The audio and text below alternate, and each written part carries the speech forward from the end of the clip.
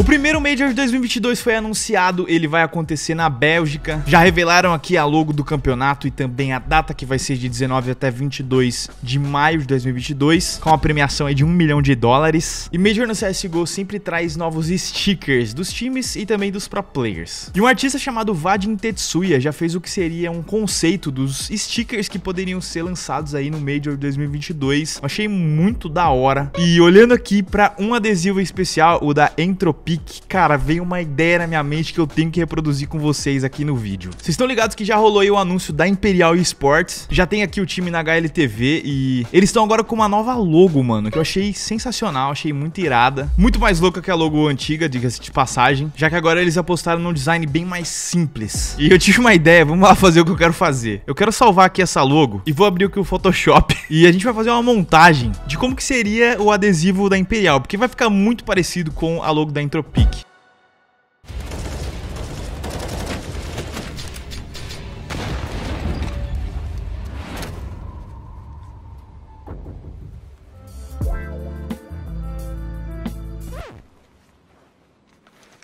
Parem, parem. O sacrifício por skins caríssimos já não vale a pena. Agora temos o K-Drop. Boa! Ah, ah, ah! K-Drop Skin é mais simples do que pensas.